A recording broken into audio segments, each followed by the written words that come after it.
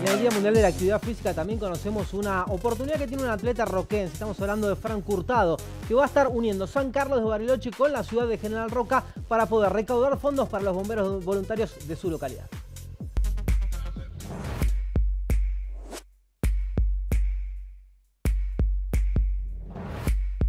El 5 de mayo eh, voy a hacer una travesía, voy a correr de, de Bariloche a Roca.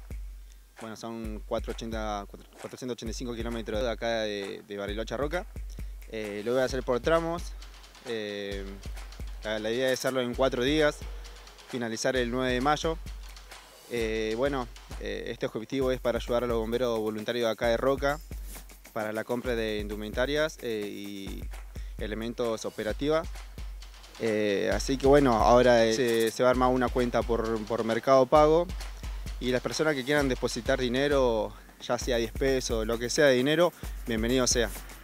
Eh, bueno, contamos con cuentos, con varios deportistas que me están ayudando acá de Roca y bueno, también la idea es que varias personas, las que quieran colaborar en, tramos, digamos, eh, se pueda sumar hasta finalizar la corrida. Eh, vamos a subir por Instagram y por Facebook todo lo que se va recaudando día a día.